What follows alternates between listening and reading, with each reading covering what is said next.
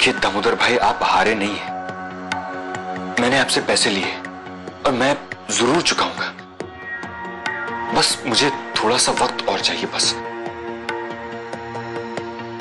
हमें देख के आओ मारो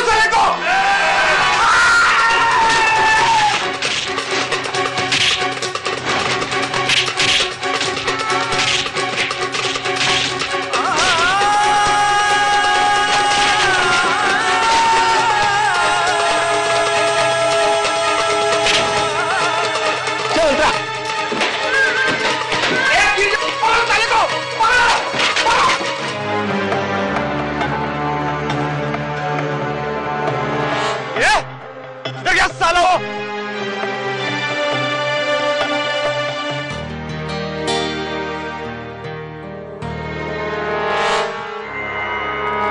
ये वो किधर है देखो उसे ढूंढो जाओ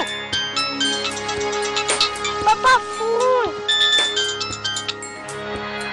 हेलो हाँ हम लोग घर पे ही आ रहे हैं आदित्य सुबह से कोई फ़ोन ही नहीं किया मैं परेशान हो रही थी। नहीं नहीं हम लोग सब ठीक है। अच्छा कहा हो तुम? जरा ज़ोर से बोलो ना। अभिषेक अभिषेक अभिषेक मम्मी बताओ हम लोग को। ये लोग पापा को मार रहे मुझे भी मार रहे अभिषेक बेटा कहा हो तुम? हम सब छुपे हुए हैं। अब जल्दी आ जाओ मम्मी। नहीं तो ये हम लोग को मार देंगे। हाँ बेटा बेटा मैं आ रही हूँ तुम घबराओ मत। मम्मी जल्दी से आ जाओ। अभिषेक? बहुत डर लग रहा है मम्मी। बेटा अभी अभिषेक मैं आ रही हूँ। भाभी कहाँ आदित्य? अरे इतनी देर से फ़ोन लगा रहा हूँ लेकिन मिल नहीं रहा। भैया वो आदित्य और बच्चों को कुछ बदमाशों ने पकड़ लिया वो उनका लोन नहीं चुका पाए। पैसों का इंतज़ाम कर रहे थे मगर नहीं हो पाया और पर पैसे का इंतज़ाम तो हो गया। भैया मुझे बहुत डर लग रहा है। अगर उन लोगों ने बच्चों को कुछ कर दिया और और आदित्य भाभी अब चिंता मत करो। मैं वहाँ पहुँच रहा हूँ। क्या हुआ भैया को समीर? आदित्य भैया को क्या हुआ? तुम बैठो मैं बताता हूँ।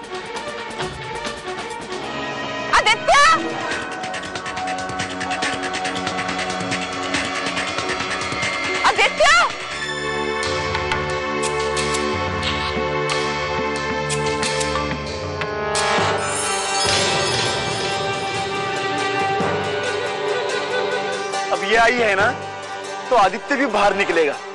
आवाज़ दे उसे। आदित्य! आदित्य! अरे बाहर निकल!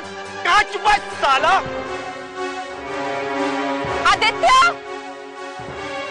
आदित्य! विद्या!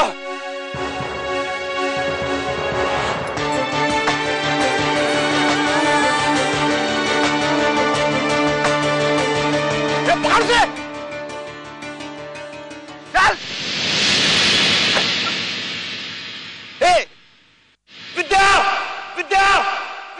भाभी।